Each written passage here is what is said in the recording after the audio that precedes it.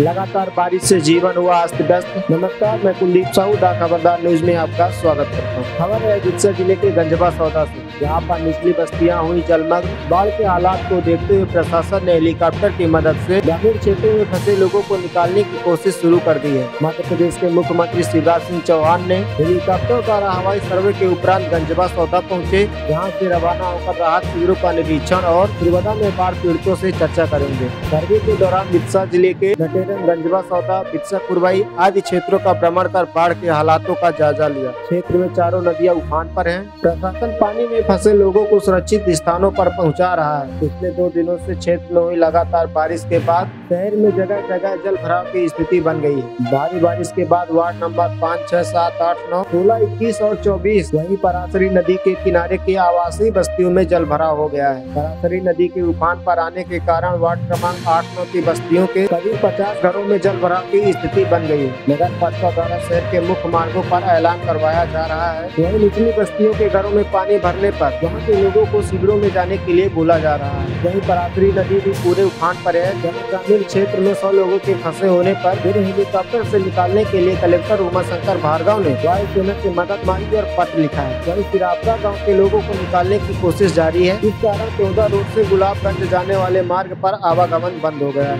दुर्घटनाओं की आशंका को देखते हुए पुलिस ने रास्तों को बैरिगेटिंग लगाकर बंद कर दिया है। वही दूसरी ओर बेतवा नदी भी उफान पर है। भोपाल के कलियासोत बाँध के गेट खोले जाने से बेतवा का जल स्तर बढ़ता जा रहा है। बेतवा नदी स्थानीय राजीव नगर गुरोद मार्ग, पुल और रामगंज के पुल के ऊपर से बह रही है। बढ़ते जल स्तर को लेकर स्थानीय प्रशासन सतर्क में है। पुल के ऊपर से बहती बेतवा के कारण पुलों के दोनों तरफ़ आवाजाही बंद हो गई है। आज सुबह से बेतवा नदी पुल से 20 फीट ऊपर तक बह रही है। वहीं अभी भी बारिश हो रही है। इस कारण शाम तक बेतवा का जल स्तर कम होने की संभावना नहीं दिख रही है। जिस कारण सिरोन जम्बा नगर कुरवाई और नटेरन जाने वाले रास्ते बंद हो गए हैं। स्थानीय बस स्टैंड पर सभी बसें खड़ी हुई हैं। वहीं दूसरी ओर मध्य प्रदेश के मुख्यमंत्री शिवराज सिंह चौहान ने कई गाँवों में जाकर रेस्क्यू ऑपरेशन खुद किया। दूसरे से हमारे रिपोर्टर आशीष सहेली की रिपोर्ट। बाढ़ के प्रभावित क्षेत्रों के लिए प्रशासन को क्या कदम उठाने चाहिए, कमेंट करके हमें ज़रूर बताएँ। और हमारे चैनल को सब्सक्राइब करें। बने रहें द खबरदार न्यूज़ के साथ। धन्यवाद।